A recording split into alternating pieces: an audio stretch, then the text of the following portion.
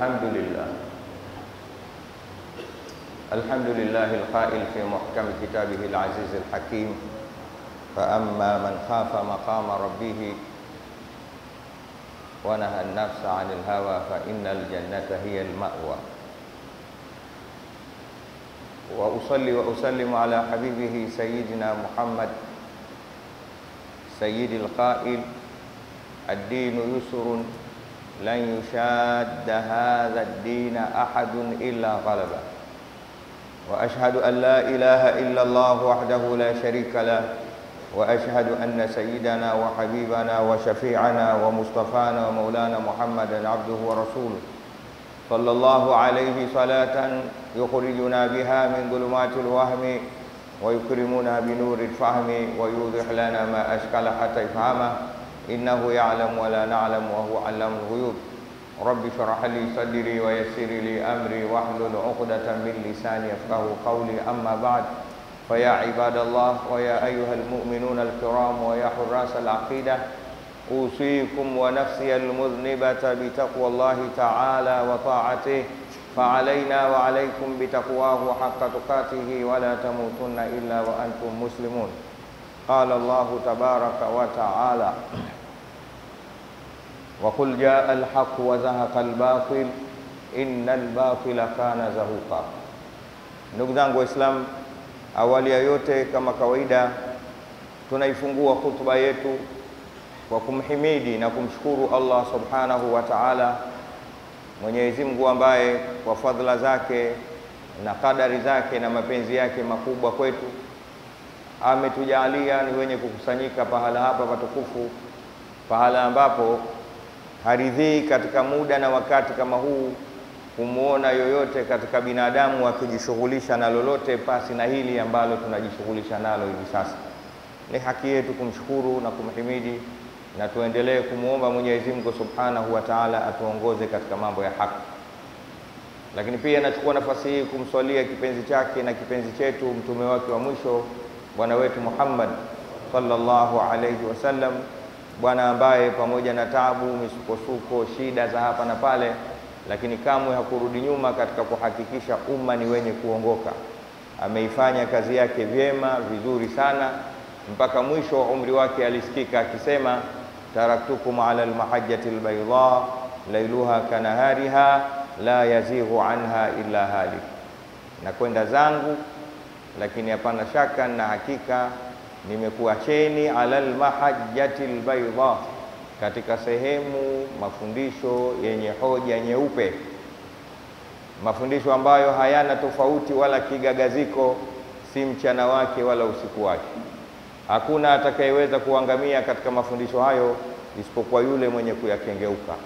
Tunamwomba Mwenyezi Mungu Subhanahu wa Ta'ala atujalie sisi ni wenye kushikamana na kuyachukua mafundisho yote kule yapotokea kutoka kwake Mtume Muhammadin sallallahu alaihi wasallam.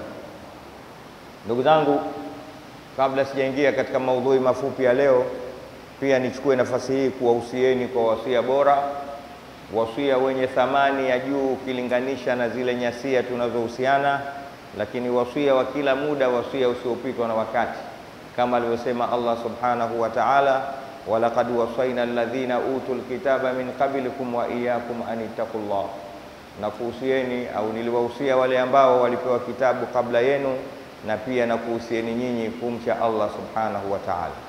Na wahusia ndugu zangu, tumche Mwenyezi Mungu, vile vile nahusia nafsi yangu katika jambo hilo.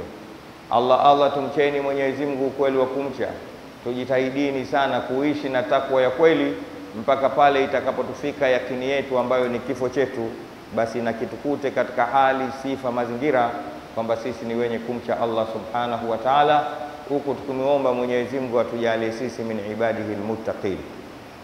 Ndugu zanguni, tumekutana katika Ijumaa nyingine, na hapa ni Ijumaa zinazokaribia kuwa za mwisho mwisho kabla hatujakutana na mwezi mtukufu wa Ramadhani. Tunamwomba Mwenyezi Mungu atuishishe katika Shaabani yetu hali ya kuwa ni wenye kubarikiwa lakini pia atufikishe katika mwezi wa Ramadhani hali ya kuwa ni wenye kusalimika nyoyo zetu na wenye kugubikwa na afya tele. Ndugu zanguni, maudhui yetu ya leo ni aya ya 81 katika suratu Al-Isra kwa ufupi sana. Mwenyezi Mungu Subhanahu wa Ta'ala anamwambia Mtume Muhammad sallallahu alayhi wasallam, jaa al-haqqu wa zahaqa al-batilu innal batila kana zahuqa. Ewe Muhammad, sema waambie watu kwa ujio wako na ujio wa kitabu cha Qur'ani, waambie jaa al-haq, imekuja haki sasa. Wazahaka al-batil, na batili imekwishaondoka. Wa qul jaa alhaqu wa zahaqa al-batil innal batila kana zahuka, waambie haki imetawala na batili ishakuwa ni yenye kuondoka. Haya ni maneno Mtume Muhammad sallallahu alayhi wasallam anatamkishwa kama yalivyothibitishwa kuteremshwa na kuandikwa katika kitabu kitukufu cha Qur'ani, suratu Al-Isra aya namba 81. Kiufupi, Mtume Muhammad sallallahu alayhi wasallam ameambiwa awaambie watu neno hili kwa sababu nyuma hapo, kabla ya ujio wake, batili ndiyo iliyokuwa inatawala na ndiyo iliyokuwa imeshika nafasi, na haki haikuwa ni yenye nguvu wala kujulikana, au pia haikuwa ikitakikana. Watu waliishi kwa maisha wanaoyaona wao, lakini zaidi hayo maisha waliokuwa wakiyaona wao na yakayachagua ni maisha yaliyozidi upande wa batili zaidi kuliko haki. Mtume Muhammad sallallahu alayhi wasallam akawaambiwa, waambie wasiwe na sasa, ujio wako kama mtume wao na kitabu ulichoshika mkononi ulichoteremshiwa, maana yake sasa ni nafasi ya utawala wa haki zaidi kuliko batili waliozoea. Nikukumbushe mifano miwili mitatu kutokana na wakati tuliokuwa nao, namna gani watu walikuwa wakiishi kwa batili zaidi kuliko haki. Lakini kabla sijakwambia hayo, nikufahamishe tu Mwenyezi Mungu Subhanahu wa Ta'ala aliileta duniani hapa mitume laki moja na kitu. Yani walipishana al-anbiya wal mursalin, kila mmoja kwa wakati wake, kwa idadi kubwa sana, takriban kundi la watu laki moja, wengine wanasema na ishirini alfu, wengine laki moja na elfu hamsini. Wote ni mitume, na walikuwa akija mtume kati ya mtume na mtume muda mrefu sana, tosheka tu kati ya Nabii Allahi Adam alayhi salam mpaka anakuja Nuhu, kati yake kuna karne kumi. Nuhu na Ibrahim kuna karne kumi, hali namna hiyo.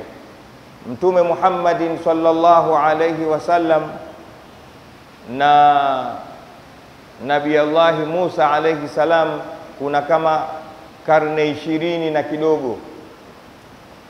Muda ulikuwa mrefu na zama zimepita sana lakini Mwenyezi Mungu Subhanahu wa Ta'ala, kwa sababu ya kuiongoza dunia hii, alihakikisha katika kila muda anamleta mtume, na yanapochakaa mafundisho ya mtume yule kwa kusahaulika na kubadilika nyakati na zama, humleta mtume mwingine.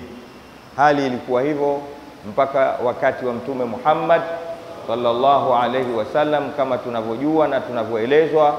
Baada yake hakuna mtume mwingine mpaka kitasimama Kiyama, kwa sababu yeye amekuja kufunga ukurasa wa kuja manabii.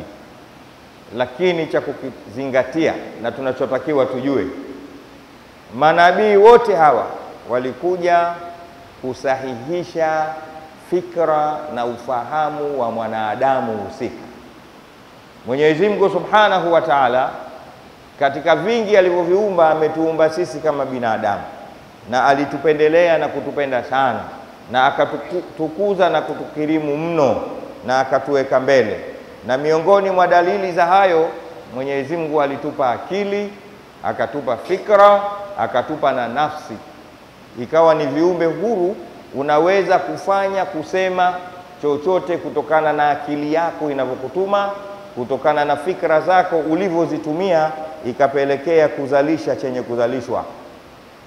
Mwanadamu huyu akahitaji, kwa sababu ya akili yake na fikra zake, kitu kitakazoweza kuzichunga na kuzisahihisha akili na fikra zake.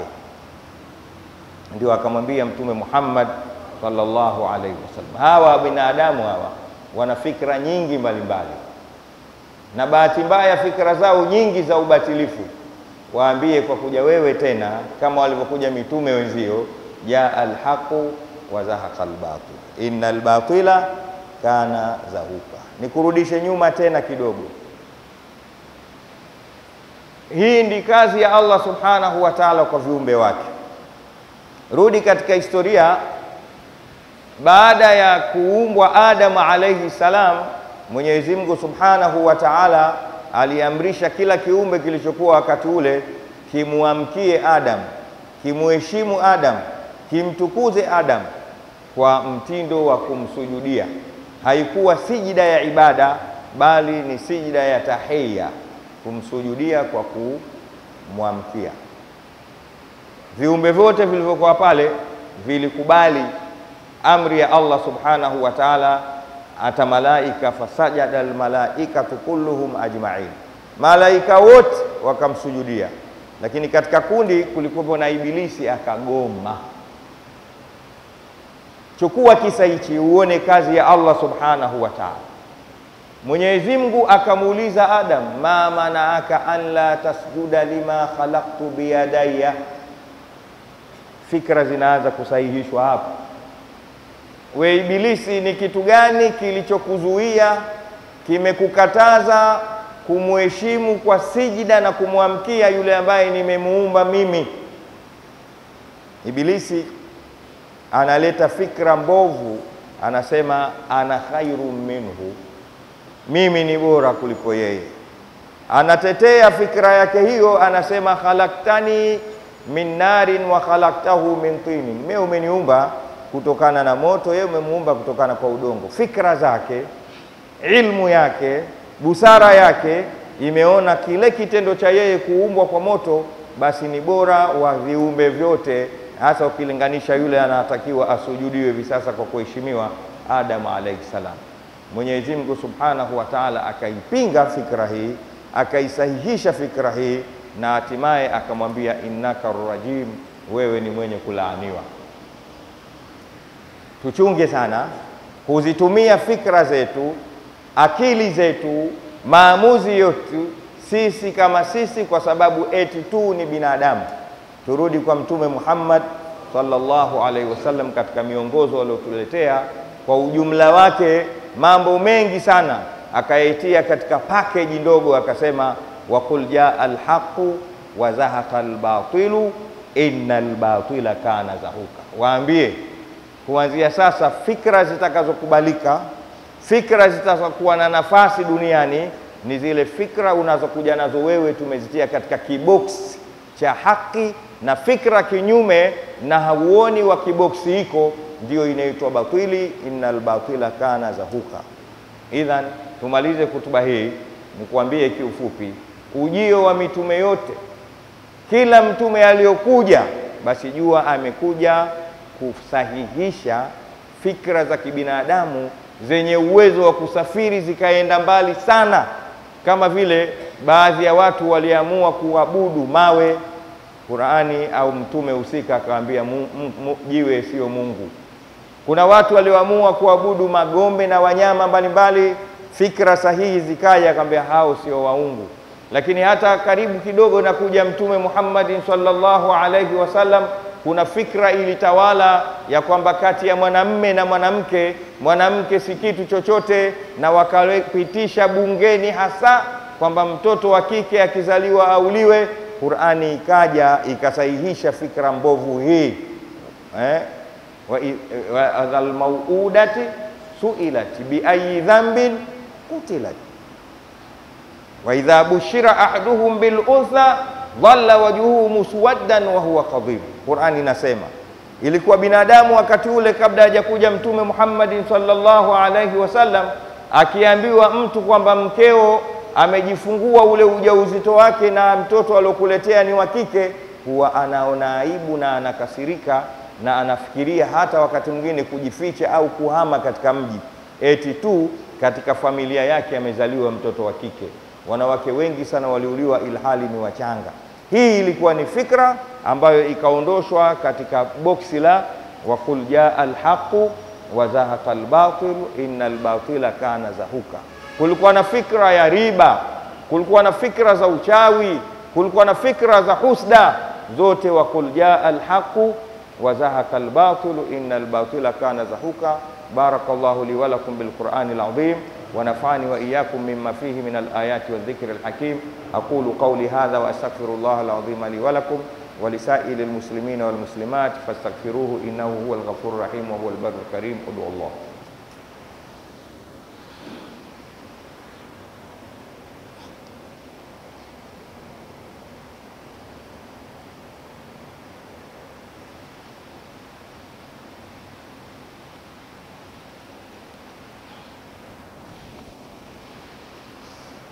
alhamdulillah ala habibihi sayyidina Muhammad bin Abdullah wa ala alihi wa ashabihi wattabi'ina subulallah amma ba'd faya ibadallah usikum wa nafsi bitaqwallah faalaina wa alaikum bitaqwahu haqqa tuqatihi wa la tamutunna illa wa antum muslimun. Ndugu zangu waislam tunamshukuru tena Allah subhanahu wa taala, lakini pia tunamsalia kipenzi chake na kipenzi chetu mtume wake wa mwisho bwana wetu Muhammad sallallahu alaihi wasallam. Kwa mara nyingine nakuhusieni pamoja na kuihusia nafsi yangu tumche Allah Allah Allah, tumcheni Mwenyezi Mungu ukweli wa kumcha, kwani hakuna kitakachotuokoa katika maisha yetu ya hapa duniani na vile vile tukirudi kwa Allah subhanahu wa ta'ala, hakuna zaidi ya takwa. Allahumma jalna min ibadika almuttaqin. Ndugu zanguni, hutuba yetu imelenga zaidi kuzichunguza fikra zetu. Mwenyezi Mungu pia ametupa nafsi, nafsi ina utashi wake, pia tuchunguze nafsi inatuambia nini.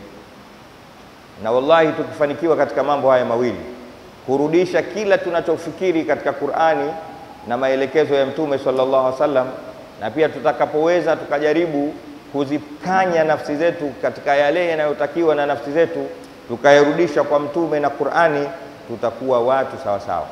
Moja katika visa niliwahi kuvisoma e, tumalize kutuba hii, aliwahi kutokea mtu mmoja na wenyewe wanakwambia alikuwa wakati ule bado hajasilimu. Yeye ilikuwa anachokisema kinatokea, akisema kesho imamu anakufa, anakufa kweli na akuwa Muislamu. Kesho imamu anaoa, anaoa kweli na akuwa Muislamu. Kesho mvua, mvua sawa sawa. Ilikuwa anachokisema kun fayakun. Wataalamu wa mambo hususan mashekhe waliokuwa wakati ule walimchukia mtu huyu, kwa sababu wao hawajafikia daraja ile. Wanaomba dua hazikubaliki, wanavyosema haviwi. Kibinadamu kidogo wakafanya fii katika nafsi zao, wakakaa bunge, wakasema huyu mtu mawili, tumuhamishe au tumuue, kwa sababu anatuondeshea sisi eh, umaarufu wetu na nafasi yetu sisi tunatakiwa tuwe vile, mbona yeye ndo anakuwa vile? Akajitokeza mtu mmoja akasema, mimi naweza kwenda kupambana naye yule. Akanoa kisu chake akaenda. Asubuhi alipofika nyumbani kwa yule bwana, mlangoni kapiga salamu, salamu alaikum warahmatullahi wabarakatu. Yule bwana akamwambia, wa alaikum warahmatullahi wa rahmatullahi wa barakatuh. Bwana, nimekuja kukutembelea. Anamwambia karibu, lakini kisu chako kiache huko huko nje. Mwenyewe alikificha.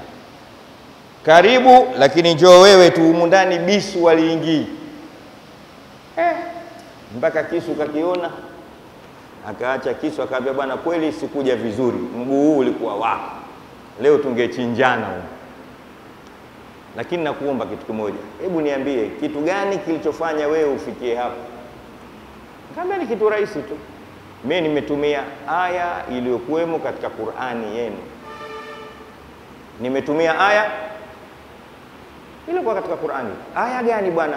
Nipe bwana, sitowaambia wenzangu. Ndo kawaida ya mashehe walivyo, anachukua material yeye tu, naye akawakoge watu eh, akaambia kitu kidogo tu, nina ipo wazi wazi eh, wanaha nafsa anil hawa. Mimi ndo aya nayoitumia, wanaha nafsa anil hawa, ipo katika Qur'ani kwamba Mungu anazungumzia mafanikio ya mtu ni kuzikataza nafsi yake inamwamrisha nini. Mimi kila ninachoamrishwa na nafsi yangu huwa nakipinga, ila nichunguze, japokuwa sio muumini, Qur'ani inatakaje katika maamuzi yale.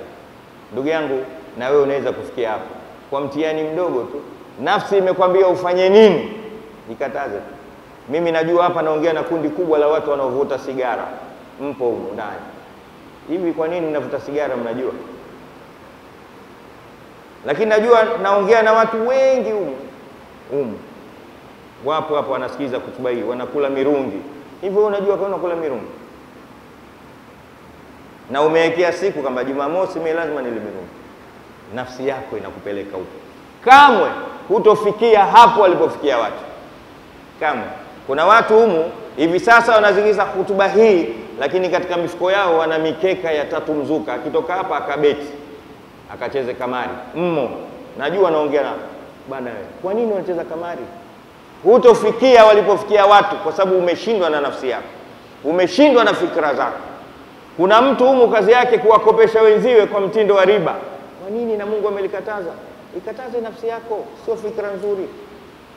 Ujio wa Mtume Muhammad na mitume mingine wote ni hiyo tu, kul jaa alhaqu wa zahaqa albatil inna albatila kana sahih. Leo maalasafi shadidi na masikitiko makubwa tuliokuwa nayo, kuna wanaume wengi wanatamani kuolewa na kuna wanawake wengi wanatamani kuoa, wamo fikra tu.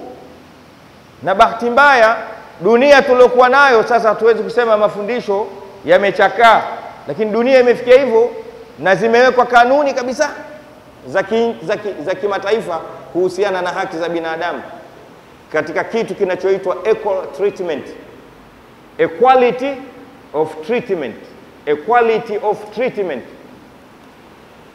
haki za kibinadamu kuhusiana na jinsia za watu na sifa zao. Tumeharibika kwa sababu fikra chafu. wa qul jaa alhaqu wa zahaqa albatil inna albatila kana zahuka. Una maana kusikiza hutuba hii kisha baada hapo ikawa unaondoka wewe ni mwenye kuishi na, na fikra zako. Rudi kwenye Qur'an. Leo miongoni mwa fikra tuliokuwa nazo, nasikitika sana, migogoro inaanza msikitini inaishia mahakamani, wakati fikra sahihi, mafahimu yajibu antusahaha, migogoro ianze nje ije kumalizikia msikitini. Lakini leo tumebadilisha ikhtalatil mawazin, eti tunagombana misikitini humu ili tukamalizie mahakamani.